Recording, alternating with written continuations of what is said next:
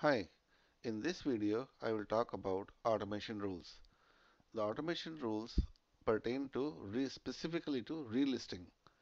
So if for example a listing ends and you wish to automatically relist it, that's when these rules can be applied to that listing. To, in order to manage your relisting rules, you have to use the menu option tools. Then within that options, and from the top you see there is an option say auto relist and there is an auto relist. So click on auto relist. Is you have to enable it in your preferences first. Enable listing automation rules and enable feedback automation. Click on save. Once you do that then you can enable relist rules. As you can see right now I have no rules created. So let me start by the definition. How do you create one?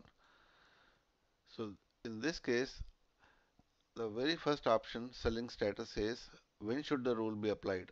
The, the options are apply always or only if your listing ends up unsold.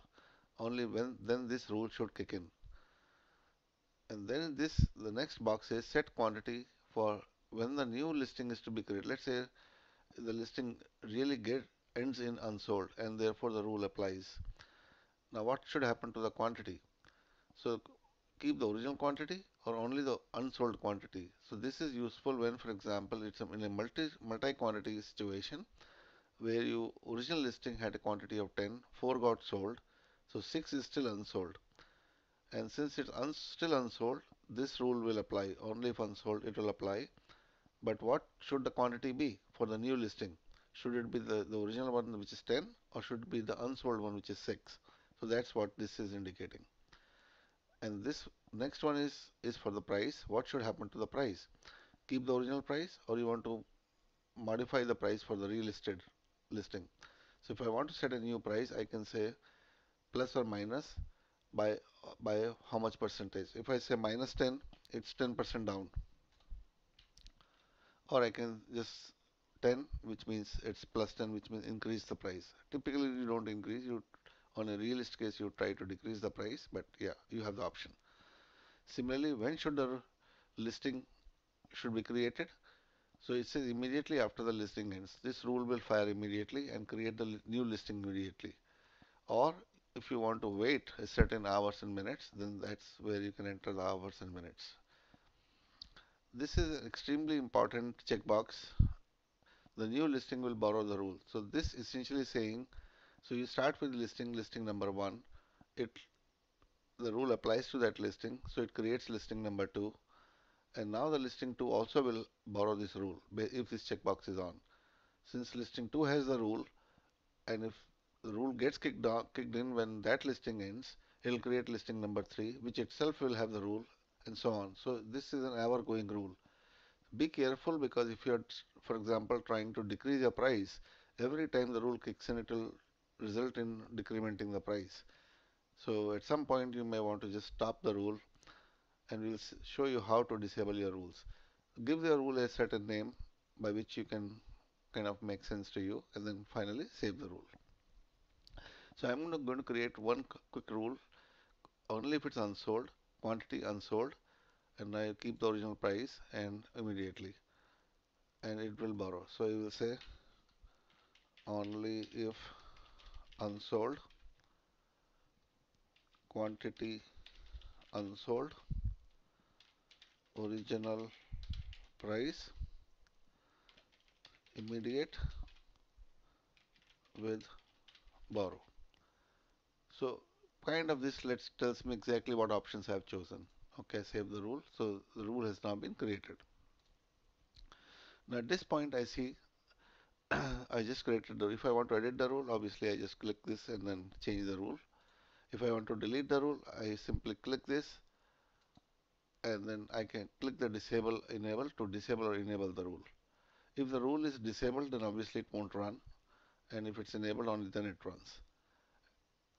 And as of now, there are no, this section of, of this interface would have shown all the listings on which this rule is active as of now we have not applied this rule on any listing so this is blank so first thing let's do is how to apply this now we just created the rule now we have to actually use the rule on a listing so there are two ways to do that.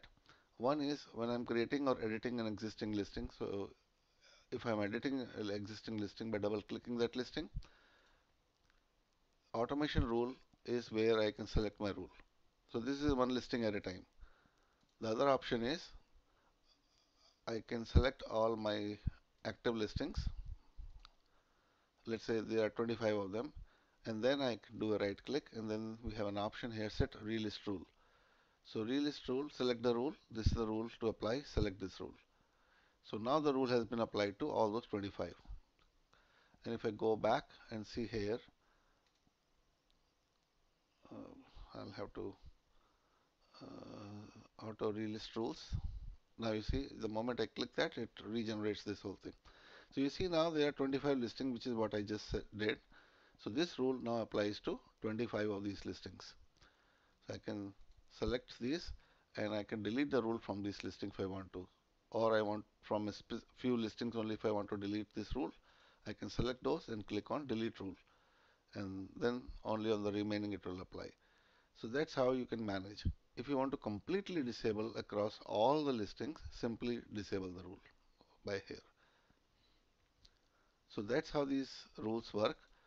Uh, and the rules, as I said, will apply only when those listings actually end because it's a relist rule. So the original listing on which the rule has been set needs to end.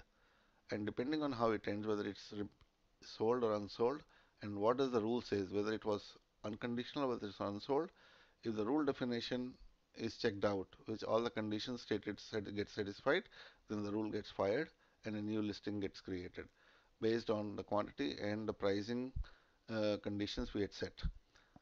So that's how these rules work and uh, be careful as I said with the checkbox uh, for uh, checkbox for for the borrow because the rule will continue to borrow from one listing to second to third to fourth and never ending process.